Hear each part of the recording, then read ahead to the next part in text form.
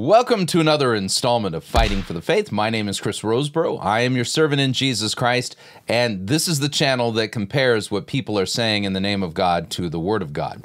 You can kind of think of this channel as like um, a false prophet takedown channel. We, we, we take down the false. we fact check them and, and take. Yeah, that's what we do. Anyway, uh, today we're going to be heading over to the YouTube channel of Patricia King. And Patricia King is somebody that I have been publicly warning about and critiquing for more than a decade.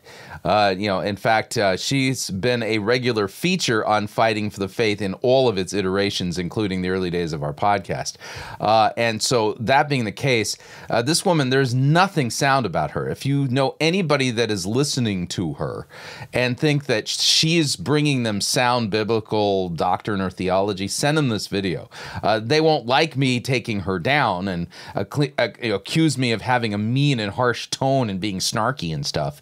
but but uh, the reality is, is that if they will listen to what I'm saying and just open their Bibles and consider what the scripture says compared to what this woman says, uh, then they will be set free from being deceived by her because she is somebody who um, who also financially exploits those whom she prophesies for.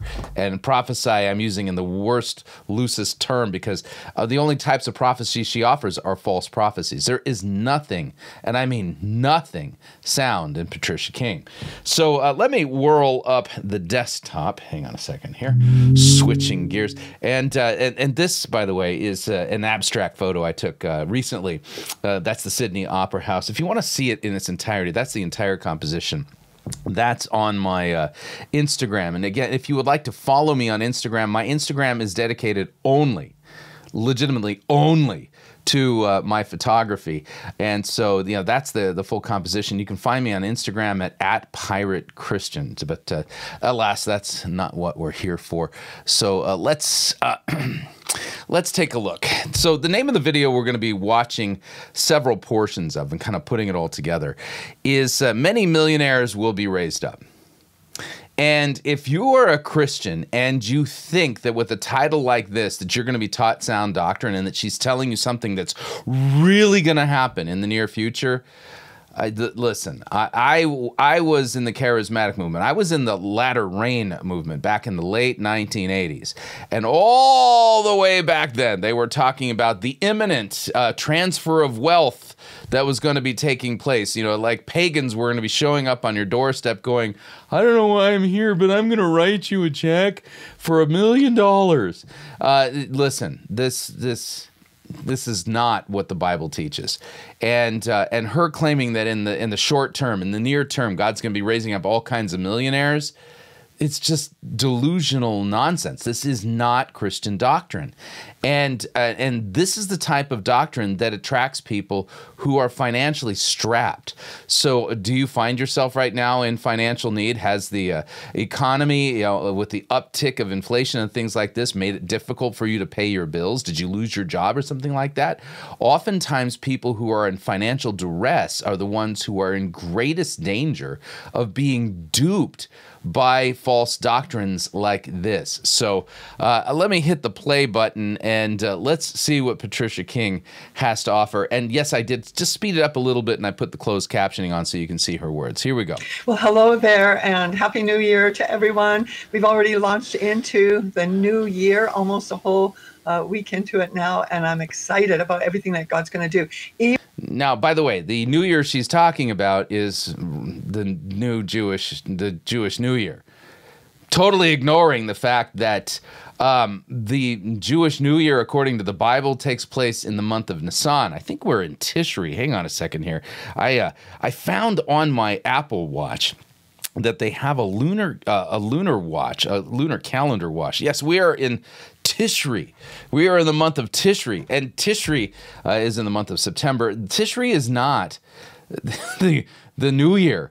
uh, i according to the scriptures. The scriptures make it clear. If you're going to follow a Jewish New Year, you begin the first month is Nisan, not Tishri. And, yeah, and by the way, I figured that out for, with a, a watch face on my Apple Watch. It's a it's a lunar thing, but uh, anyway, uh, so so she's babbling on about it, you know, being Happy New Year it ain't a happy new year. This the whole jewish new year thing that's going on right now is not biblical and this is an innovation created by the pharisees and uh, they were the ones who were the last people standing after the fall of the temple in Jerusalem, and they reworked Judaism. Current modern day Orthodox Judaism is not at all biblical Judaism, not even close.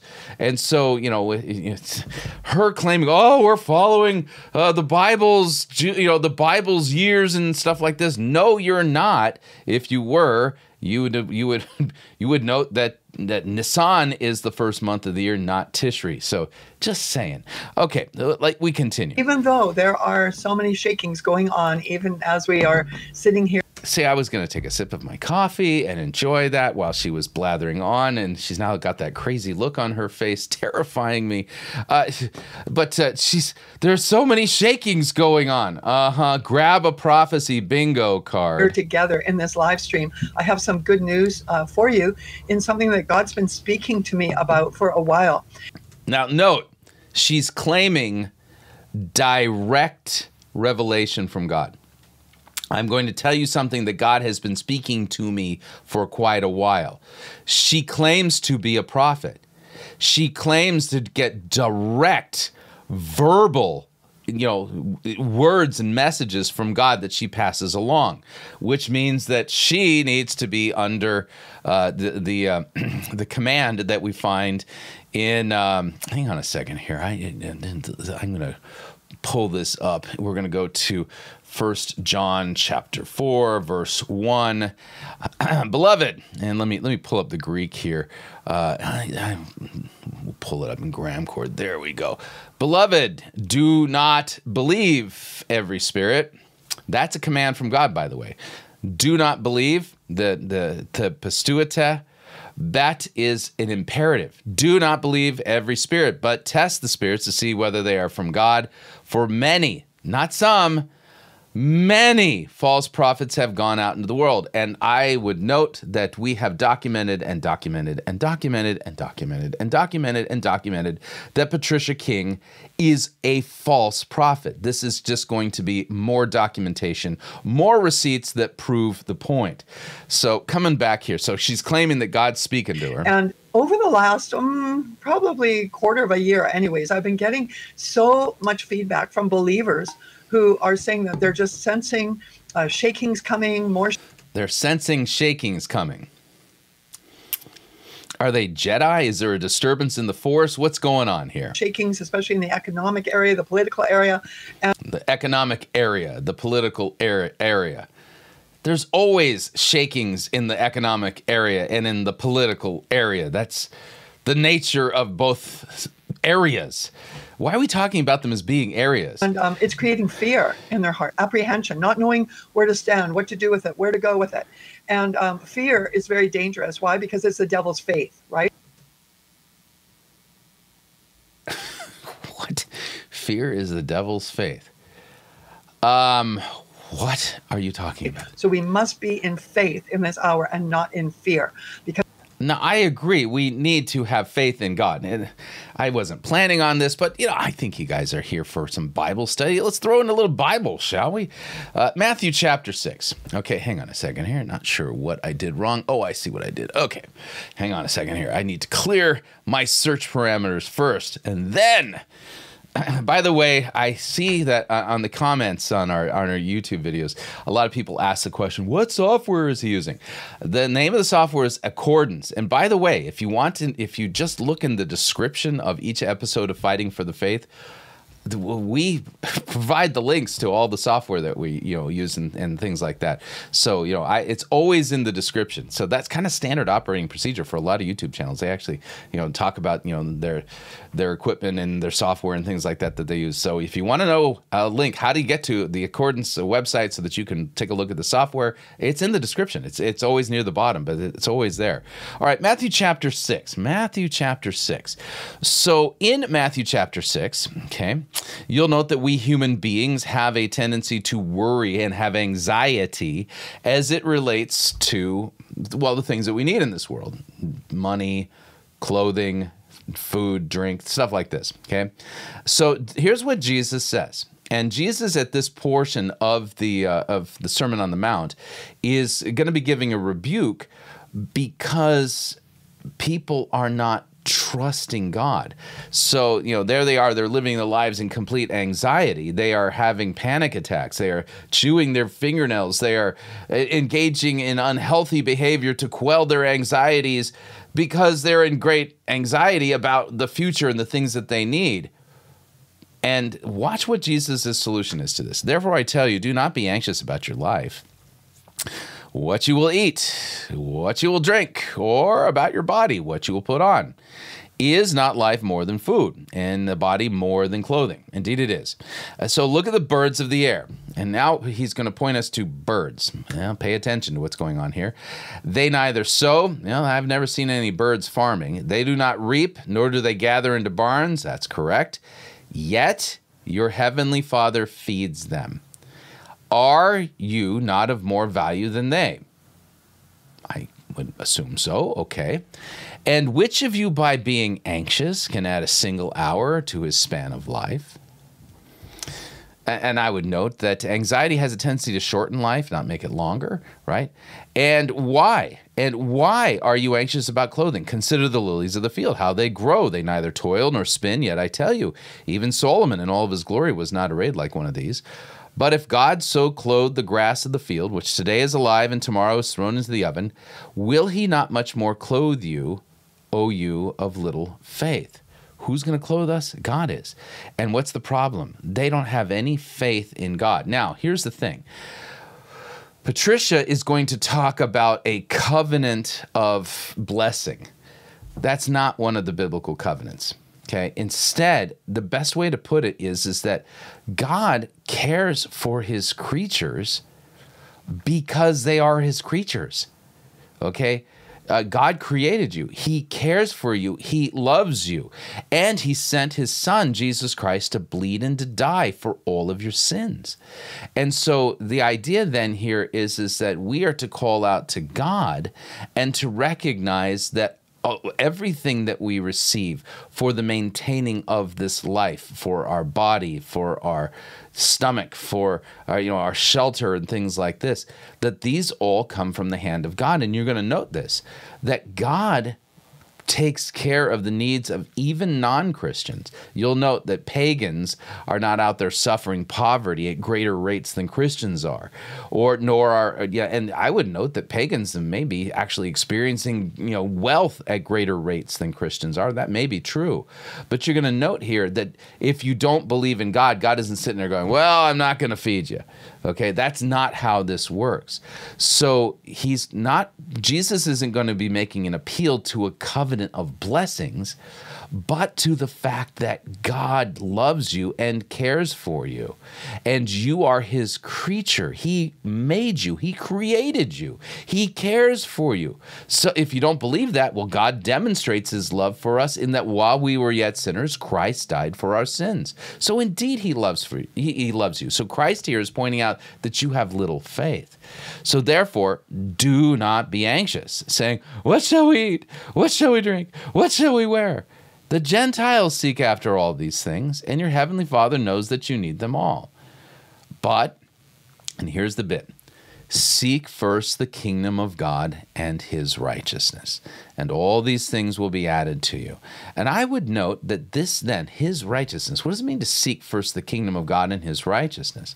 You'll note that uh, the righteousness of God is that which is given to us by grace through faith Okay, so if you like read like Romans 3, Galatians 3 and and follow out the theme there regarding the righteousness of God that is given as a gift, Christ is saying seek God out, seek his kingdom, seek his righteousness, his forgiveness, his mercy, all given to you by grace through faith, and all these things will be added to you. Right? Right, right. So therefore, do not be anxious about tomorrow, for tomorrow will be anxious for itself. Sufficient for the day is its own trouble. So note, God promises to meet the needs of all of his children, his Christians. He's not going to abandon you. Cry out to him, trust him. He will care for you. Instead, seek first his kingdom and his righteousness all these things will be added to you. That's the promise that we as Christians hang on to, not where Patricia King is going to go. And you'll see where she's going to go here in a second. So glad I got to clear that up. Here we go. Because God has good things for us. And I want to specifically address one thing with you on this particular broadcast, and that is the area of um, wealth um, versus. The, the, the uh, area of wealth. That's an area? Is it next to Area 51? Where where is this area? This is poverty, okay, or, or or or lack. And I just want to speak this into your spirit. You want to speak something into my spirit. Where is that a practice taught in Scripture? If you are a child of God living in faith in His promises, you have nothing to fear for the coming days. In fact, well, that's true, but not for the reasons that she's going to say it's for the reasons that Jesus said in the Sermon on the Mount, which we just read out. God wants you to get excited about what He's going to do. God, God wants me to get excited. Yay! How much? How excited do I need to be? I mean, yay! Or do I need to be like, ah, kind of excited? How excited am I supposed to be here? Because people are going to come into the kingdom when they see the blessing of God on His people. Jesus. Okay, hang on a second while the camera has to refocus after that. People are going to come into the kingdom when they see the blessing of God on his people. This touches on one of the major false doctrines of the Pentecostal, charismatic, and NAR movements and that is that this that in order for people to become Christians, they need to see signs and wonders. And so part of the, I, the part of the logic behind the false prophecy about this idea that there's this coming wealth transfer is that um, is that that's going to be a sign to people of, of of us having God's favor, and then people will want to have that same favor on their lives, so they're going to want to become Christians too. And so um, that's not even biblical at all. And we're, we're going to debunk this, all right? We're going to debunk this by going to the Gospel of Luke chapter 16. I want you to consider uh, what Christ says here in this chapter. Luke 16, uh, 19. This is the parable of the uh, rich man and Lazarus. Rich man doesn't even have a name. That's kind of an important theological point, by the way. So here's what Christ says There was a rich man who was clothed in purple and fine linen, who feasted sumptuously every day. Okay. Um, how'd, that, how'd he do that if he wasn't a Christian, right? Um, Pay attention. And at his gate was laid a poor man named Lazarus, covered with sores, who desired to be fed with what fell from the rich man's table. Now, if you judge this according to the world standard, you'd sit there and go, uh, "The rich man's blessed, Lazarus, Lazarus is cursed." But here's the thing: Lazarus has faith. Okay. Note the rich man doesn't have a name. What's his name again? What's his face? Um, yeah, the reason why he doesn't have a name is because if your name is not written in the Lamb's book of life, you go into eternity nameless, and the nameless ones end up in the lake of fire. Keep that in mind. Lazarus has a name. God knows his name. And although Lazarus, he suffered in this life, needed medical attention and was poverty stricken to the point of like begging for scraps of food and and looking longingly at uh, what you know at what uh, the rich man was eating right so so Lazarus covered with sores desired to be fed with what fell from the rich man's table moreover even the dogs came and licked his sores ew and then the poor man died And listen to this. He was carried by the angels to Abraham's side, or you can say Abraham's bosom. Uh, that, that'll work also for uh, kolpos there. And the rich man also died, and he was buried. And in Hades, he being in torment, he lifted up his eyes and saw Abraham far off and Lazarus at his side. Ah, how the turns have how the turntables, right? Uh, isn't that the Michael Scott line? How the turntables, right? So uh, yeah, things have now completely changed. The rich man is completely poverty stricken and suffering in hell. Lazarus, who had nothing in this lifetime, like legitimately nothing, now possesses everything. He has eternal life. Okay, so uh, the, uh, the, uh, the so the rich man calls out Father Abraham, have mercy on me. Send Lazarus to dip the end of his finger in water and to cool my tongue, for I'm in anguish in this flame. What a jerk. I mean, does he not get it yet? No, clearly he doesn't. He legitimately thinks that that, that Lazarus is still, because he was poverty stricken in his lifetime, is still his, like somebody he should look down on, who's, you know, who can just bark orders to and, you know, treat him like he's a slave. So Abraham said, Child, remember that in that you in your lifetime, you received your good things. Lazarus, in like manner, bad things, but now he is comforted here, and you are in anguish. And besides all this, between us and you is a great chasm that has been fixed in order that those who would pass from here to you may not be able, and none may cross from there to us. And then he said, Then I beg you, Father, and pay attention to this part here. I beg you, Father, to send Lazarus to my father's house. I have five brothers, so that he may warn them, lest they also come into this place of torment. Okay? So consider what the request is make it so that Lazarus rises from the dead and he goes and visits them and says, Woo, I am Lazarus. I am back from the dead. I am here to tell you a message from your brother. You need to avoid going to hell and uh, repent and trust in God, and he will forgive you of all of your iniquity, right? Um, so and of course the thinking is his thinking is if lazarus shows up the spectacle of a man rising from the dead that sign will be proof positive of the truth of of of, of who god is and what's coming that this will end up with them repenting right? But watch what abraham says. Abraham said they have moses and the prophets. Let them hear them. They got the bible. Let them hear the bible and he said, No, no, no, Father Abraham. If someone goes to them from the dead, they will repent. He said to them, If they do not hear Moses and the prophets, neither will they be convinced if someone should rise from the dead. Signs and wonders do not make somebody believe. You'll note that the Pharisees, they saw Jesus raise people from the dead. Okay. In fact, let me let me do this. Let me go to John chapter 11 and I might have to kind of go a little farther, but uh, let, us see here. All right, so Jesus in John chapter 11 raises a fellow by the name of Lazarus from the dead. Not that, not the Lazarus from the Luke's uh, parable, but an actual, a different guy by the name of Lazarus raises him from the dead. Lazarus, come out. He's at, he's at his tomb, and Lazarus comes out. Okay, and Jesus says, "Unbind him, let him go." And watch the fallout from this. Many of the Jews, therefore, who had come with Mary and had seen what he he did believed in him. But some of them went to the Pharisees and told them what Jesus had done.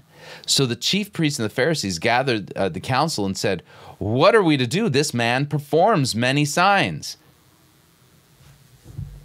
Well, then, why aren't they believing? Because they don't believe the word of God. And you sit there and go, Well, the Pharisees believe the word of God. Do they? Do you even understand what a Pharisee is if you think that? Pharisees are people who completely rejected the word of God in what it says and added their own oral Torah to the word of God. Uh huh. They, they, they, they're, they're as faithful as Mormons are. Okay. And Mormons are not faithful, nor are they Christians. Okay. So this is what's going on here. The, the, Pharisees are heretics. They don't listen to the word of God. They listen to the words of their oral tradition, their oral Torah, their Mishnah and their Talmuds and things. All the they bury the word of God and they make it void by all their man-made doctrines and traditions. Uh-huh. If you don't believe me, read Luke, uh, not Luke, Mark chapter 7. It'll help you out there. All right. This man performs many signs so what? So they recognize that Jesus is performing signs. They cannot deny it. If we let him go on like this, everyone will believe in him, and the Romans will come and take away both our place and our nation. But if one, but one of them, Caiaphas, that's the high priest, uh, who was high priest that year, said to them, "You know nothing at all, nor do you understand that it is better for you that one man should die for the people, that the whole nation should perish." He did not say this of his own accord, but being high priest that year, he prophesied that Jesus would die for the nation, and not for the nation only, but also to gather into one the children of God who are scattered abroad. So from that day on, they made plans to put Jesus to death. Yeah, that's uh, that's pretty awful, right? Um, yeah, and and by the way, um, they also made plans to kill Lazarus. Let me see if I can find that real quick. Lazarus. Hang on a second here, and I'm just going to take out my context, and I know it's probably like in 12. Uh, Lazarus, when raised from the dead, they gave a dinner. Okay, so, uh, uh, here he goes. John chapter 12 verses 9 and 10. Listen to this. Okay, so Lazarus, ris- risen from the dead, he, he was in the grave for four days. I mean, his body was stinkething, and uh, you know, and he's been raised. They they can't even deny that that Christ raised him from the dead. And watch this. So when the large crowd of the Jews learned that Jesus was there, they came not only on account of him, but also to see Lazarus, whom he had raised from the dead. So the chief priests made plans to put Lazarus to death as well. So, what's the point in all of this? It's actually quite simple. The charismatics claim that we've got to perform signs so that people will believe in Jesus is completely contradicted by Scripture. It is not signs and wonders that convince somebody to become a Christian. In fact, that's not even how somebody becomes a Christian. And so, this claim that we've got to have this great transfer of wealth so that the, the pagan world will sit there and go, wow, you people are under the blessing of God. I want to be a Christian too it's complete nonsense. Okay, Lazarus, the, the one from the original story in the in the parable in Luke 16, wanted to you know he the rich man wanted to send Lazarus from the dead to warn his brothers, and Moses all know they have they have Moses and the prophets. Uh, Abraham said that they have Moses and the prophets. Let them hear them. No, no, no. Let them hear the Bible, right? Which then comes to an important text, Romans chapter 10. Romans chapter 10. Listen to what this says. The scripture says, Everyone, this is verse 11, who believes in him will not be put to shame. Amen. There is no distinction between Jew and Greek, for the same Lord is Lord of all, bestowing his riches on all who call on him. For everyone who calls on the name of the Lord will be saved. Flat out fact, truth. So, how? How then will they call on him in whom they have not believed? How are they to believe in whom they have never heard? And how are they to hear without someone preaching? And how are they to preach unless they are sent? As it is written, How beautiful are the feet of those who preach the good news. But they've not, not all obeyed the gospel. For Isaiah says, Lord, who has believed what he has heard from us? And here we go. So faith comes from hearing, and hearing through the word of Christ. Faith comes from hearing, and hearing through the word of Christ. Consider what Paul says in this regard in Romans 1, verse 16. I'm not ashamed of the gospel the gospel, the good news of that Christ bled and died for your sins and was bodily raised on the third day uh, that that that's the good news, by the way. See 1 Corinthians 15 if you're not sure. I am not ashamed of the gospel. It is the power of God for salvation to everyone who believes, to the Jew first and also to the Greek. For in it the righteousness of God is revealed from faith for faith, as it is written, the righteous shall live by faith. So note, the gospel is the power of God. How do people come to faith in Christ? Because they hear the good news, and God, the gospel is the power of God into salvation. God makes Christians through the preaching of the word. Uh huh. So uh, we've got a problem here, and that is that uh, Patricia King, you know, she's here talking about, oh yeah, there's going to be this wealth transfer thing, and and uh, the pagans are going to see the blessing of God on your life, and then they're they're going to turn and all this kind of stuff. The the the entire foundation of that theology is rotten to the core and is it's it's not even biblical. Let me back this up just a little. Listen the coming again. days. In fact, God wants you to get excited about what He's going to do, because people are going to come into the kingdom when they see the blessing of God on His people. No, they're not. Faith comes by hearing, and hearing by the word of Christ. Mm-hmm. And that's why we really need to position ourselves. Well, there's so many lies that have been. T- so you got to position yourself so that you can receive God's wealth blessings so that then people will become Christians? Um, in the body. Actually, I remember being over in Israel a number of years ago, talking with a a um, Christian leader over there, and he was saying that it's a blessing for uh, Christians to be poor. The poorer Christians are, the more blessed they are. And I thought, wow, you are so misunderstanding God's covenant of blessing. The covenant of blessing is not a real thing when you look at the biblical covenants, okay, so for instance, you have the, the the the, covenant with Noah, the Noahic covenant. You have the Mosaic covenant, which the official, uh, by the way, the Mosaic covenant is kaput. Uh, it's it, that was a land lease agreement between God and the children of Israel, and it's not in effect anymore. It's it's done, okay. And then the covenant that we are under as Christians, which is what the new covenant the new covenant this covenant of blessing thing it, does that that's a completely made up category that she just invented right? And instead the idea here is is that under the new covenant we are promised what? The forgiveness of all of our sins. We are promised eternal life in Jesus Christ. We are also promised that God will meet our needs. We are not, there's no covenant of blessing for Christians, which is, means that you're going to experience wealth and become millionaires and things. Remember, the name of this video is Many Millionaires Will Be Raised Up. This is just nonsense. Um, you are so misunderstanding. Uh, the only blessing that would come to the poor is when they find out that they don't have to be poor, that God will provide all their needs according to his riches and glory by Christ Jesus. But in the kingdom, faith is our currency. What? So, in order to have the transference of wealth, the creation of wealth, so faith is our currency. You need to build up enough faith so that you can use that currency so that you can participate in the great wealth transfer that's coming. Listen, listen again to what she's saying. Poor, that God will provide all their needs according to his riches and glory by Christ Jesus.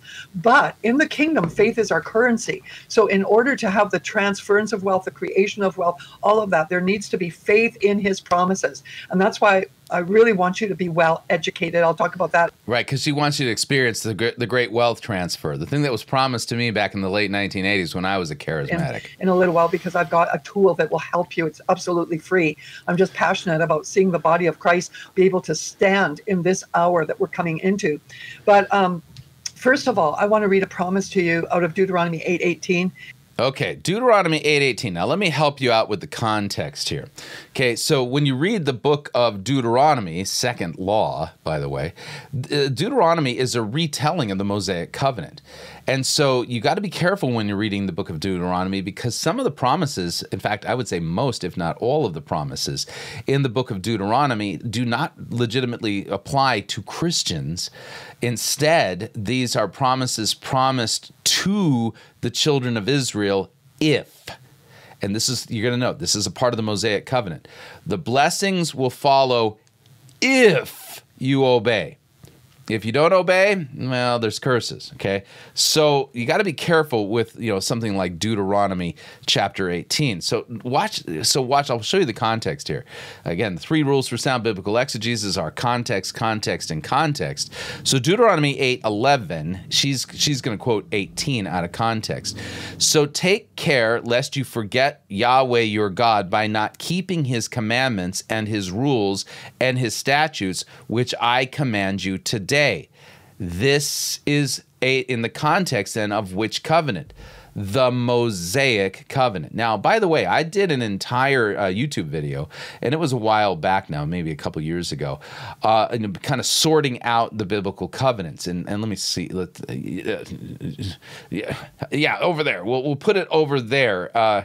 Uh, you know, we'll put a link to our biblical covenants uh, teaching if you want to go deeper on a, on a on a biblical look at the different covenants of the scriptures and which ones apply to us. Mosaic covenant does not apply to Christians. We're not under the Mosaic covenant. Okay, so note here, Deuteronomy eight eleven makes it clear. Context is Mosaic covenant. Uh, but take care lest you forget Yahweh your God by not keeping His commandments and His rules and His statutes, which I command you today, lest when you have eaten and are full and have built good houses and live in them, and when your herds and flocks multiply and your silver and gold is multiplied and all that you have is multiplied, which is one of the promises of the Mosaic covenant, if they obey. Then your heart will be lifted up, and you will forget Yahweh your God, who brought you out of the land of Egypt, out of the house of slavery, who led you through the great and fiery, uh, terrifying wilderness with its fiery serpents and scorpions, and thirsty ground where there was no water, who brought you water out of the flinty rock, who fed you in the wilderness with manna, and that your fathers did not know, that he may humble you and test you to do good in the end. So beware, lest you say in your heart, Well, my power and my might, uh, the might of my hand, have gotten me this wealth. You shall remember Yahweh your God, for it is he who gives you power to get wealth, that he may confirm his covenant that he swore to your fathers as it is to this day. And if you forget Yahweh your God and go after other gods and serve them and worship them, I solemnly warn you today that you shall surely perish. Like the nations that Yahweh makes to perish before you, so shall you perish because you would not obey the voice of Yahweh your God. So Deuteronomy 8 is not in the context of the new covenant covenant that we're under as Christians, it's in the context of the Mosaic covenant, which is not in effect anymore.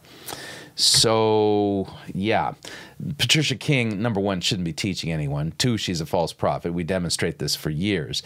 And uh, and three, she's twisting this text up. She's she's not qualified to be teaching anybody because she doesn't even know how to rightly handle a biblical text. It says, "But you shall remember the Lord your God." So no matter what is happening in the world, um, in these coming days, God wants you to remember Him. Don't have your mind set on everything that's going on in the world and its system. Not true. God does want you to have your mind set on Him. Remember Him. And with that, um, Jesus said to take. Okay, now I'm going to fast forward to this next part because she's going to go on a tangent about the Lord's Supper, but that has nothing to do with this. So here's the next part. Because it is He who is giving you the power to make wealth. And so, yeah, who's the you there in Deuteronomy 18? Is it Christians? No, this is where God's making promises to the children of Israel if they obey the commands of the Mosaic covenant. So she's totally ripped this out of context, ignoring who the you in that passage is and the circumstances under which those promises are made. And I would note here, uh, if you really want a summary of the, uh, the the blessings and curses of the Mosaic covenant, I couldn't find a better chapter than uh, Deuteronomy 28 again mosaic covenant. We're as christians are not under the mosaic covenant. We're under the new covenant. But listen to listen to what god promised. If you faithfully obey the voice of yahweh your god being careful to do all of his commandments that i command you today yahweh your god will set you high above the nations of the earth and all these blessings shall come upon you and overtake you if you obey the voice of yahweh your god. Blessed shall be you in the city. Blessed shall you be in the field. Blessed shall be the fruit of your womb and the fruit of your ground ground, and the fruit of your cattle, and the increase of your herds, and the young of your flock. Blessed shall be your basket and your kneading bowl. Blessed shall be you when you come in, and blessed shall you be when you go out. Again, this isn't a grace covenant at all. This is based purely upon obedience. If you are careful to do all of his commandments and you obey then these blessings will overtake you. By the way, when you read the Old Testament, how good were the children of Israel at obeying all of God's commands? Not so good, right? And so I would note then, pay attention to the next part in Deuteronomy 28 15. Then begins the litany of the different curses for disobedience. And when you read these curses, it's like reading it's like reading the history of Israel in advance. These are practically prophecies because you can see every one of these curses then playing out throughout the Old Testament. And I would even note in the New Testament as well, uh, for those who are disobedient, the ones who ended up uh, murdering Christ, uh, there there were some there's there's there was a further uh, curse that that came about in their lifetime. Keep that in mind. So again, this is all about obedience. Mosaic covenant is not a grace covenant, it's a works covenant. We're not under the Mosaic covenant. If you so note the curse says, but if you will not obey the voice of Yahweh your God or be careful to do all of his commandments and his statutes that I command you today, then all these curses shall come upon you. So Patricia King here citing Deuteronomy 8 totally ignoring the fact that this is a Mosaic covenant uh, text that is promising things related to the Mosaic covenant. Now, granted, there are principles that do apply as far as like, uh, you know, not having other gods and obeying God's commands. That's true for us under the, even in the new covenant. We still need to obey God's commands, uh, but uh, the the commands that we follow that that we obey are really more summarized in the Ten Commandments, not the not the feast days and all, and you know the the offerings and sacrifices of the Mosaic covenant. That's all kaput. That's all ceremonial law, and that's that, we're not under that. So, but that's a whole other that's a whole other episode. But she continues. Here we go. There is an ability that God is giving you to create wealth with Him for His purposes and for His glory.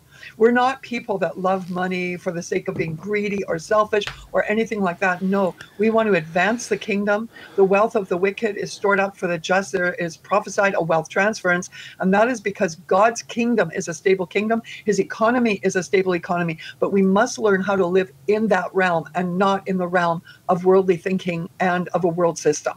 Uh huh. And uh, where, wh- which text are you exegeting at this point? She's not. Now I'm going to jump ahead a little bit. This is where it just gets weird.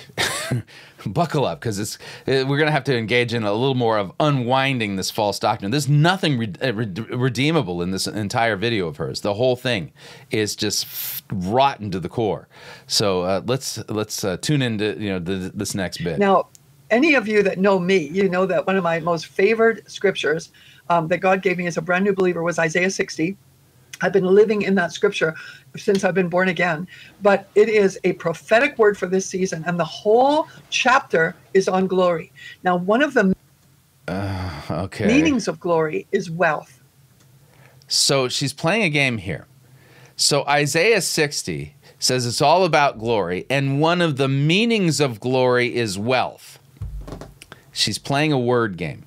All right. And so watch what she does here, and then I'll show you how to debunk it. Okay. One of the meanings of glory is wealth. And so if you position yourself for that glory, if you position yourself for that glory, you know, wealth, you know, wink, wink, nudge, nudge. You know what I mean? It says, arise and shine. That means we have to do something. We have to rise in faith and let our belief shine before God and before the world that we live in. Arise and shine because your light has come and the glory of the Lord has risen upon you, or the wealth of God has risen upon you. Now, oh my goodness. So let me show you what she's up to here. This is so awful. Uh, it's just so deceptive. And, and she's trying to make promises for God that God is not actually making. So the text in question is Isaiah 60. Isaiah 60.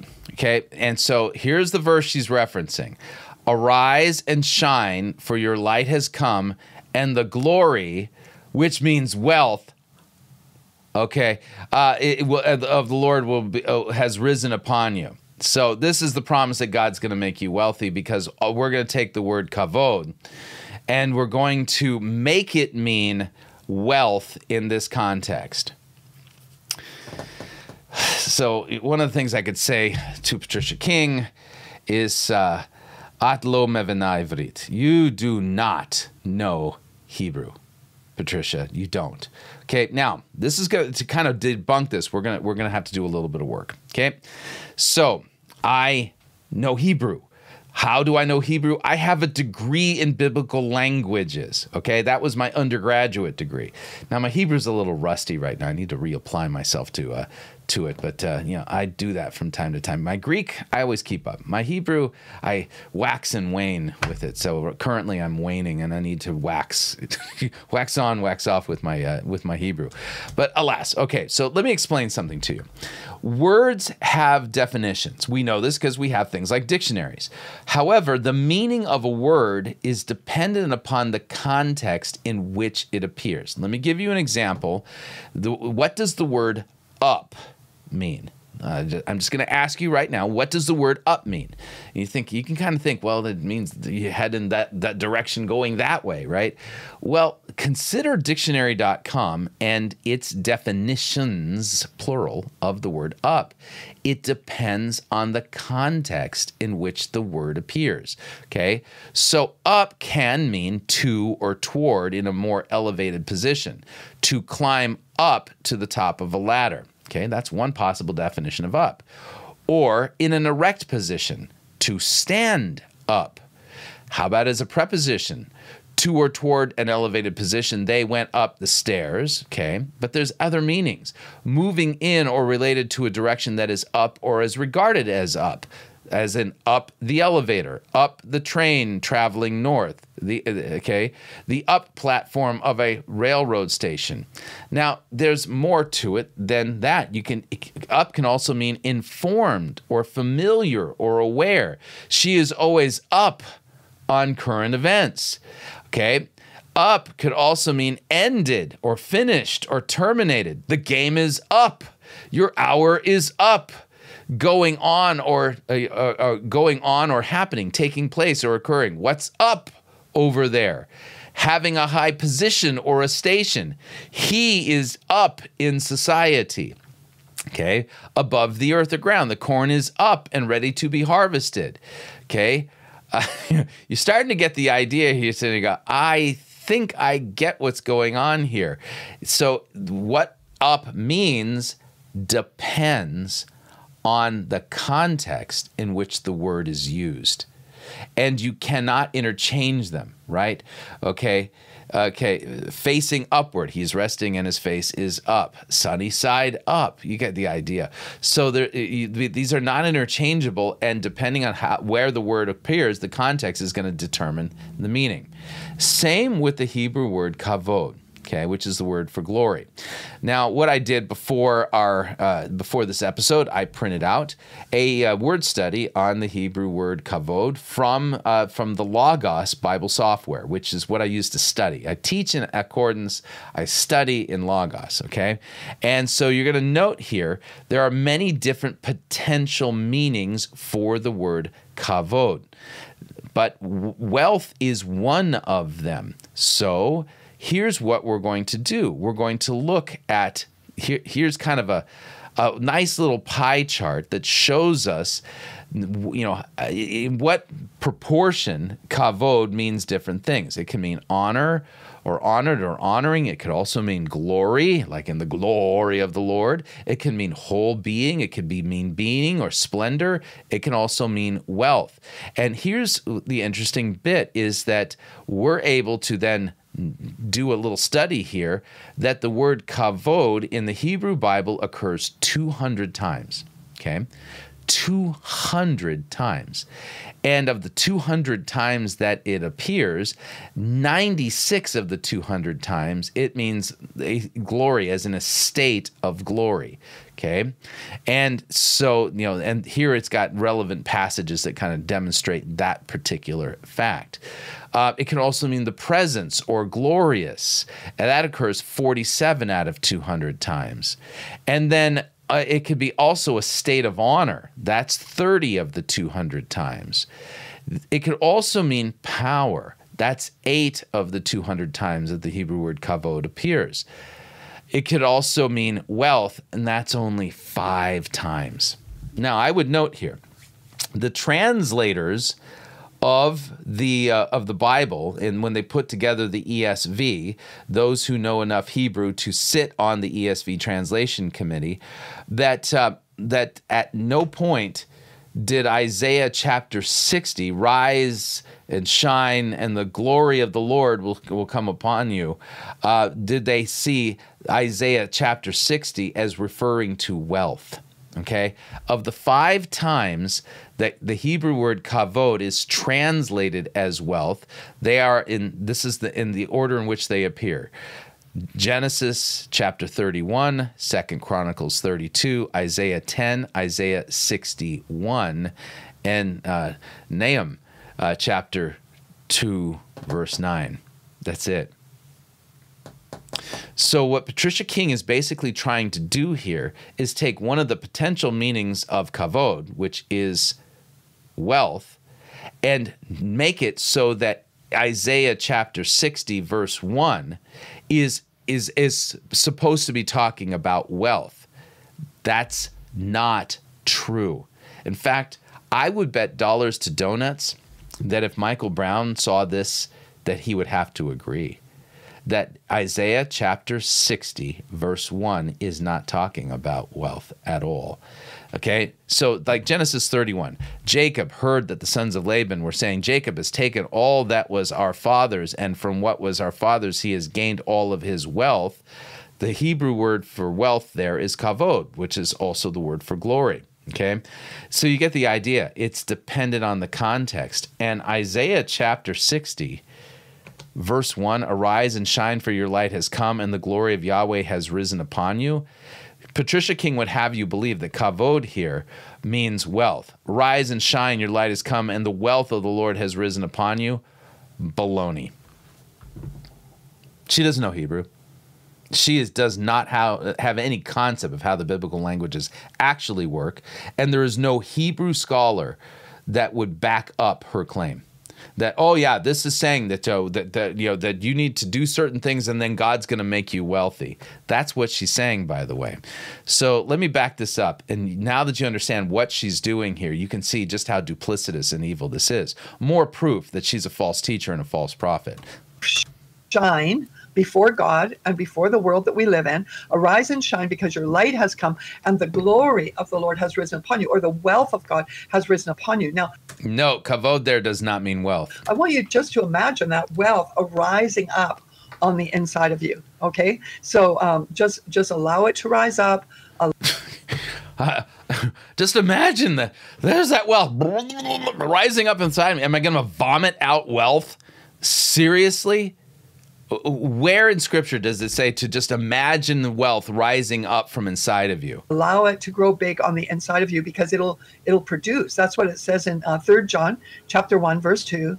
Um, Beloved, I pray that in every respect you will prosper. That's every aspect of your. All right, Third John. This is another text that she's taken out of context. Yeah, and you'll note I'm I'm going a little long here with Patricia King today because it needs to be done. So we're going to go to Third John this is just constantly taken out of context by false teachers. All right, so what is what are we looking at here? We're looking at a letter. Okay, what is the standard procedure for writing a letter. I don't know if any of you write letters anymore, but I, when I was in high school, we had to learn how to write letters. We actually actually write letters on stationery and send them. You know, lick a stamp and put it on an envelope and send it. And there and uh, back in the day when we you know before, before we sent emails, we had to actually like send letters. You know, and there was you know, there was a business way of writing a letter. There was a yeah, a f- informal way of writing a letter. There was a formal way of. Uh, the, okay, so Paul's writing a letter in the day before email. Okay, this is a standard operating procedure for how letters work. The elder to the beloved Gaius, and we know who this is from, whom I love in the truth. Watch what he says here. Beloved, I pray that all may go well with you, and that you may be in good health as it goes well with your soul. All the false teachers turn this into a promise when in fact all it is is something like this Dear Rosalind, I pray that this this letter finds you well and that the kids are doing well and that and that things are happening positively at church and at school. It's a standard greeting, it's not a promise from God and it's just a standard way in which letters are open. Read some of the other epistles and you'll see what I'm talking about. This is not a promise. This is just well, I wish you well. I pray that this letter finds you well. Okay, beloved, I pray that all may go well with you and that you may be in good health as it goes well with your soul. For I rejoice greatly when the brothers came and testified to your truth, as indeed you are walking in the truth. I have no greater joy than to hear that my children are walking in the truth. Patricia King, she ain't walking in the truth. She is somebody who legitimately traffics in and walks in and, and, and lives in lies. Your life and be in health as your soul prospers or as your soul is positioned to align with truth. Now God is going to be he told me this. I'm going to he said I'm going to be raising up many millionaires. No, Patricia. This is complete delusional nonsense. You haven't handled the biblical text correctly yet this is a false teaching. You are a false prophet. You are a false teacher. God is not raising up millionaires. Probably billionaires too, because in order to advance the kingdom, and listen to this, this is what you know. In order to advance the you know, kingdom, really stirs my heart, because I work with anti-trafficking of uh, sex trafficking organ. Yeah. Okay. So you get the idea. This this is just nonsense. What's really going on here? What's really going on here is what the apostle Peter warned us about. Second Peter chapter two.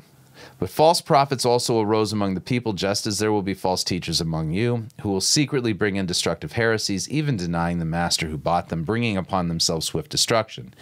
And many will follow their sensuality, and because of them, the way of truth will be blasphemed.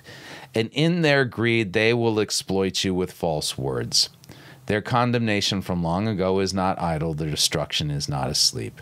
That text is a prophecy regarding Patricia King. That's exactly what she is. She's exploiting you with false words, and she has made herself really wealthy by trafficking in lies, not biblical truth. And the fact that I can take her down, you know, at will every time she puts out a video and and demonstrate that she is not rightly handling the biblical text and she's flat out making stuff up. God isn't talking to her. She fails the test of 1 John 4 1. She is not speaking by God the Holy Spirit. God isn't telling her nothing. In fact, if God is speaking to her, he's calling her to repent of her false prophecies and her false doctrines and the delusions that she's spreading in his name and the promises she's making on his behalf that he has never made and will not keep. He's not bound to do so at all. So hopefully you found this helpful. If so, all the information on how you can share the video is down below in the description. And I'd like to give a shout out to all of you who support Fighting for the Faith financially and you've joined our crew. You make it possible for us to bring Fighting for the Faith to you and to the world. And thank you for your support because we can't be here without what you're doing. And if you would like to join our crew and support us financially, follow the link down below that takes you to our page on how you can join our crew. And if you do, thank you very much for supporting us. We can't do what we're doing here without about you. So until next time, may God richly bless you in the grace and mercy won by Jesus Christ and his vicarious death on the cross for all of your sins. Amen.